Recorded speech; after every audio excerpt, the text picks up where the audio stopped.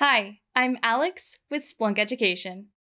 In this video, we'll demonstrate how to move inputs into the canvas in Splunk Cloud and Splunk Enterprise.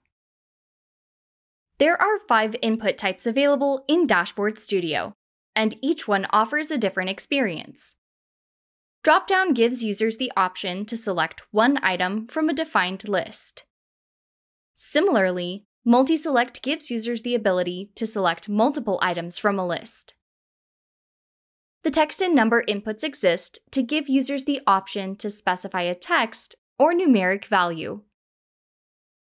And last, the time range input, which is added to each new dashboard by default, gives users the ability to specify a time range. Inputs can be easily and quickly added by navigating to the input menu located in the visual editor, then selecting the input type. In our current dashboard, we already have a couple inputs located above the canvas.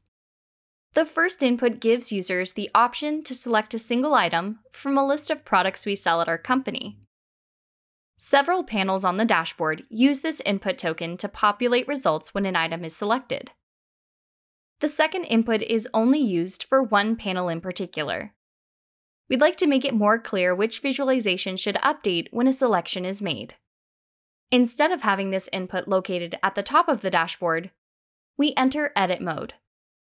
Highlight the input to open the configuration menu, and under Display, change the selection from Above Canvas to In Canvas.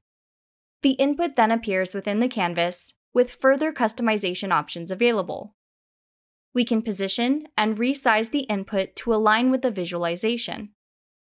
Change the menu alignment within the area of the input, and further down the configuration menu, even give it a background color to help make it pop.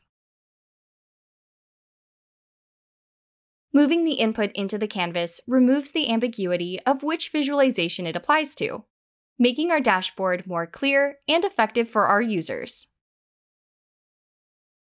Thanks for joining us to learn more about customizing input location in Dashboard Studio.